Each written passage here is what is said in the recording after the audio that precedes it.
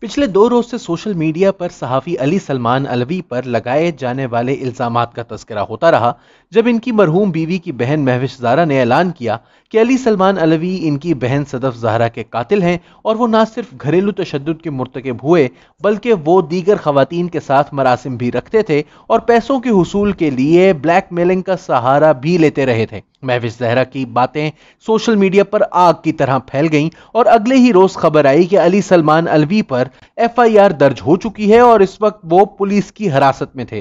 اور جولائی آٹھ کو عدالتی ریمانڈ پر جیل منتقل کر دیے گئے تھے۔ ایئرپورٹ پولیس اسٹیشن میں درج کروائی جانے والی ایف آئی آر کے مطابق یہ واقعہ جون انتیس کو پیش آیا اور بقول محفش زہرا کے ان کو دوپہر کے دو بجے اپنی بہن کے نمبر سے علی سلمان کا فون آیا کہ وہ تباہ ہو چکا ہے اور صدف زہرا نے اپنے ساتھ کچھ کر لیا ہے۔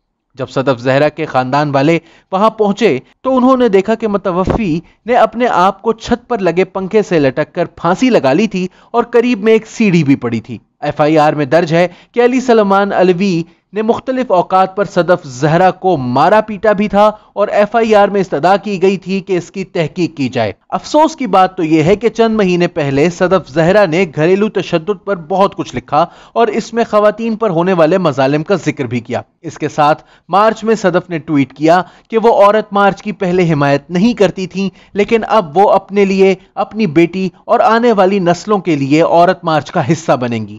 اس اندوناک واقعے کی تحقیقات تو پولیس کر رہی ہے اور ابھی تلک علی سلمان علوی کا موقف سامنے نہیں آیا۔ اسی لیے ان کو قاتل ٹھہرانا انصاف کے تقاضوں کے مطابق نہیں ہوگا، کیونکہ جب تک یہ جرم ثابت نہیں ہوتا، اس وقت تلک وہ محض ایک ملزم ہے۔ یاد رہے کہ علی سلمان علوی سوشل میڈیا پر بہت سرگرم تھے اور ان کے صرف ٹویٹر پر ترتالیس ہزار سے زائد فالوورز ہیں۔ آج سے ایک دہائی پہلے وہ پیپلز پارٹی کے سرگرم حمایتی دکھائی دیتے تھے اور پاکستان میں شیعہ برادری پر ہونے والے مظالم پر بھی خوب آواز اٹھاتے تھے اور بذریعہ سوشل میڈیا ایکٹیویزم بھی کرتے تھے۔ رفتہ رفتہ وہ پیپلز پارٹی سے دور ہوتے گئے اور پچھلے چار پانچ سال سے پاکستان تحریک انصاف کے انتہائی پرجوش کارکن کی طرح نہ صرف عمران خان کا دفاع کرتے رہے بلکہ پاکستان مسلم لیگ نواز اور پاکستان پیپلز پارٹی پر بھی تنقید کے نشتر برساتے تھے۔ ان کا ہدف بالخصوص مریم نواز شریف بھی تھیں اور وہ بہت واضح انداز میں اس بیانیے کا حصہ بن گئے تھے جو کہ دو ہزار سولہ میں پاناما پیپرز کے بعد پاکستان میں گھڑا گیا تھا اور جس کی مدد سے سابق وزیر اعظم نواز شریف اور ان کے خاندان اور پارٹی کے خلاف رائے عامہ کو کافی حد تک اثر انداز بھی کیا گیا تھا۔ کیا وہ کسی منظم تحریک کا حصہ ہیں یا محض عمران خان کے ایک جوشیلے چاہنے والے؟ اس کا تعین کرنا مشکل ہے۔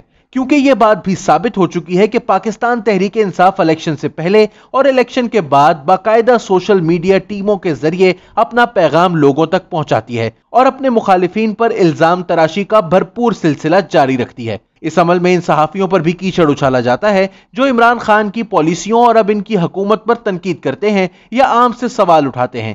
یہی وجہ ہے کہ اس طرح کے سوشل میڈیا اکاؤنٹس کو انگریزی زبان میں ٹرول کہا جاتا ہے یعنی کہ جو کسی ایک شخص یا گروہ یا نظریے کے خلاف مستقل بیان بازی کرتے ہیں اور سچ اور جھوٹ میں فرق کو بھی یکسر نظر انداز کر دیتے ہیں۔ علی سلمان علوی، معروف صحافی اور T V anchor Asma Shirazi کے ساتھ آج ٹی وی میں کام کرتے تھے اور بظاہر آسما شیرازی کو بھی ان کی ذاتی زندگی کے بارے میں زیادہ معلومات نہیں تھی۔ بدھ کے روز آسما شیرازی نے ٹویٹر پر لکھا کہ میں اس وقت حیران و پریشان ہو گئی جب مجھے اس واقعے کا پتہ چلا اور اس ایف آئی آر کے بارے میں معلوم ہوا۔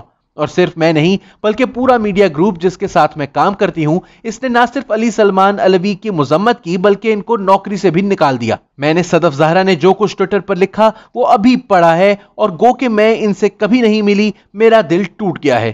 انصاف بہر صورت ہونا چاہیے۔ آسما شیرازی کو یہ سب کچھ کہنا اس لیے پڑا کہ سوشل میڈیا پر موجود ٹی وی انڈسٹری سے وابستہ ایک پروڈیوسر نے ان پر یہ فکرہ کسا کہ امید ہے کہ آسما شیرازی علی سلمان علوی کے معاملے کو اپنے شو میں اٹھائیں گی کیونکہ وہ انسانی حقوق کی علم بردار ہیں۔ معلوم نہیں کہ یہ مشورہ کس نیت سے دیا گیا تھا، لیکن آسما شیرازی نے اس کا بھرپور جواب دیا اور دیگر کئی صحافیوں نے جن میں کامران یوسف، اسد علی تور عادل شاہزیب اور دیگر شامل ہیں۔ انہوں نے نہ صرف آسما شرازی کا ساتھ دیا، بلکہ یہ بھی کہا کہ آسما شرازی ہمیشہ سے انصاف اور حق کی بات کرتی ہیں۔ اور اگر ان کی ٹیم کا ایک ممبر اس طرح کے واقعات میں ملوث ہے، تو اس میں آسما شرازی یا اس ٹی وی چینل کا کیا قصور؟ پاکستان تحریک انصاف کی مخالف جماعتوں نے بھی علی سلمان علوی کے معاملے کو خوب اچھالا ہے۔ اور وہ اس بات کو ثابت کرنے پر تلے ہیں کہ پی ٹی آئی اس طرح کے بشکوک اور داغدار لوگوں کو استعمال کرتی ہے تاکہ وہ کیچڑ اچھالنے کا کام خوب خوب تندہی سے انجام دے۔ جنگ گروپ سے وابستہ صحافی عمر چیما نے ٹویٹر پر لکھا کہ علی سلمان علوی وہ شخص ہے جو دوسرے صحافیوں کو صرف اس لیے لفافے کے تانے دیتا تھا کہ وہ پی ٹی آئی کے نقاد تھے اور اب یہ خود اس طرح بے نقاب ہوا ہے کہ دیکھنے اور سننے والوں کے لیے توبہ کا مقام ہے۔ نہ صرف بیوی کے قتل کا الزام ہے بلکہ دیگر لڑکیوں کو بلیک میل کر کے ان سے رقمیں بٹورتا تھا۔ اللہ اس گھٹیا پن سے بچائے۔ احمد نورانی نے کہا کہ علی سلمان علوی نام کے صاحب عموماً مجھ پر الزامات لگاتے تنز کرتے، مگر میں نے کبھی ان کی کسی بات کا جواب دینے کے قابل نہیں سمجھا، اور آج ان پر قتل کا الزام ہے۔ قانون پر عمل ہونا چاہیے، مگر آج وہ کمزور ہیں۔ اس سارے قصے میں ان کا موقف کہیں نہیں۔ اگر ان کا کوئی جاننے والا ان کا موقف دینا چاہے تو میں اسے ضرور شائع کرنا چاہوں گا۔ احمد نورانی نے مزید لکھا کہ سوشل میڈیا پر ایک طرف کی معلومات ہیں، پولیس کے مطابق یہ خودکشی ہے، اگر ان صاحب نے خواتین سے دھوکہ کیا تو اس جرم میں سزا ہونی چاہیے۔ گھریلو تشدد ہے تو اس جرم میں، مگر قتل سوشل میڈیا پر دی گئی ایک طرفہ معلومات پر صرف میڈیا کے لیے اگر دوسرا موقف آ جائے تو کیا برا ہے؟ احمد نورانی کی بات میں بہت وزن ہے اور نیا دور کے پلیٹ فارم سے بھی ہم چاہیں گے کہ اس واقعے کی آزادانہ تحقیقات ہونی چاہیے اور اگر علی سلمان علوی کو نقصان پہنچایا ہے تو اس زمن میں انصاف بھی ہونا چاہیے۔ یوں تو سوشل میڈیا پر ٹرولز کے بارے میں بین الاقوامی سطح پر ہی تحقیق یہ ثابت کرتی ہے کہ سوشل میڈیا پر زیادہ وقت گزارنے والے اور ٹرولنگ کرنے والے لوگوں کی نفسیات رفتہ رفتہ ان کی آن لائن تحریروں اور گالیوں میں مدغم ہو جاتی ہے۔ اکثر اوقات وہ ڈیجیٹل اور حقیقی دنیا کے درمیان فرق کو بھولنا شروع ہو جاتے ہیں اور اسی وجہ سے وہ رویے تشکیل پاتے ہیں جنہیں سوسیوپیتھی یا دوسرے الفاظ میں منتشر شخصیت کا شکار ہو جانا کہتے ہیں۔ اگرچہ پاکستان میں اس پر تحقیق ہونا باقی ہے، لیکن اب وقت آ گیا ہے کہ بڑھتی ہوئی انٹرنیٹ تک رسائی کے ضمن میں اس مسئلے کا کچھ کیا جائے۔ اس پورے واقعے سے یہ بھی ثابت ہوا ہے کہ پاکستان میں گھریلو تشدد کے خلاف ابھی تک مؤثر قانون سازی نہیں ہو سکی۔